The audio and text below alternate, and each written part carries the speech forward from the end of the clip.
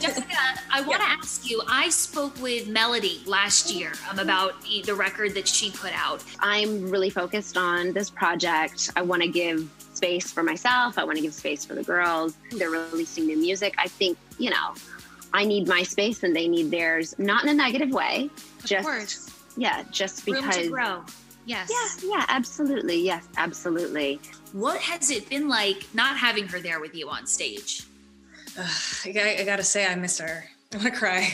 Um, I, I, I, you know, I respect her decision, um, and I think she's an incredible artist. Uh, but I, we had a psychic tell us a long time ago that we had a past life together. So I have a connection to Melody that is just unbelievable, and I love her. I miss her. I wish she'd come back.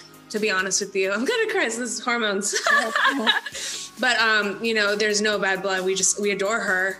The first time I saw her, she was a child. And I remember saying, like, I just found a girl. She's like Christina Aguilera, yet she's so unique. I've never seen any girl like her. She wanted to go and she wanted to move forward into her solo and and be be her own, do her own thing, which we all respect. So that's when we all support her so much. Yeah. Jessica, I see you getting very emotional. Do you want to look in the camera and say any message you have for Melody? oh my God.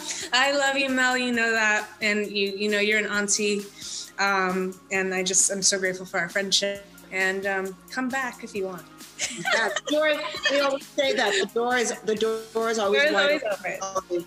The door is always wide open for Melody, and she knows that.